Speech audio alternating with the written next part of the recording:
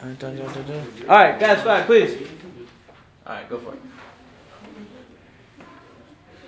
Surprise! I made you dinner. Aw, babe, you didn't have to. So what do you think? Uh, it's interesting. It's terrible. You, you just gotta keep trying. I wanted to do something nice for you. All of this, this isn't me. I'm not a cook. I don't, I don't know how to do this relationship thing. I'm, I'm a mess. I can't even match my socks. I think you just need more practice, babe. I'm never going to be that guy.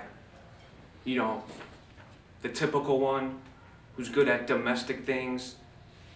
This is my first real relationship, and I'm trying so hard, but maybe you should just give up on me. Are you crazy? That's what I like about you. You're probably quirky, unique, and you never try to be more than anyone than yourself. This is why I'm in, in, in this relationship. I could care less whether or not you can cook.